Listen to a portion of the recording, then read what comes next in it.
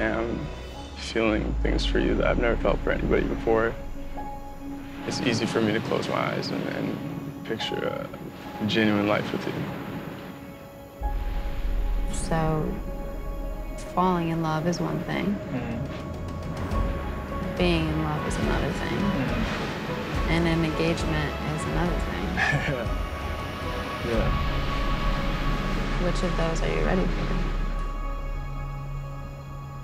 I mean, all three. You know, like falling in love, being in love, loving you. Um, there's something about you that I'm, I'm certain about. I know I trust myself. Um, I trust you. And I trust that I'm literally falling in love with you. And um, that's something I really want to hold on to. An engagement at the end of this is something that I could see myself doing. And I've had time to, hmm. like you, have sat and thought about, like, am I ready for this? And unwaveringly, the answer is yes. Do you feel like you could get there? Most definitely. With you. Yeah. You know, I, I, I don't see myself pulling away. Not at all. You know what I mean? Like, I'm going to continue telling you how I feel. I'm going to continue being vulnerable and just putting myself out there for you because falling in love with you, this is um, very real for me. A huge weight has just been, like, lifted off my heart. Exactly.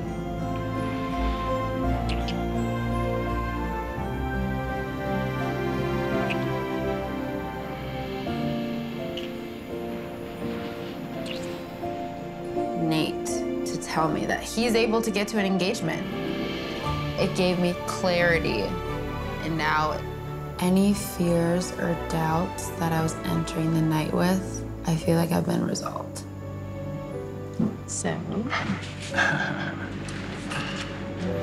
this is for you to open. All right. Let's see. Michelle and Nayte, we hope you enjoyed your day out at sea and making new memories together. Should you choose to forego your individual rooms, please use this key to stay as a couple in the fantasy suite, Tayshia and Kaitlyn. So, how do you feel about spending the night together? Definitely would love to do that. Me too.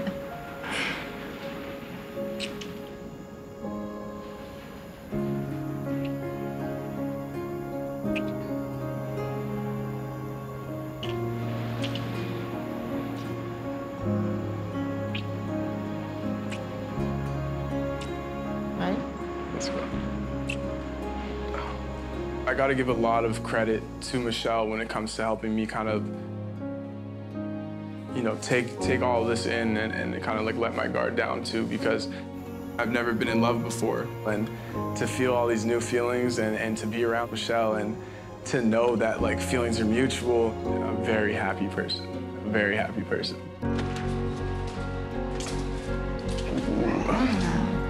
I know that I deserve to be in a relationship where someone cares for me as much as I care about them and is in love with me as much as I'm in love with them.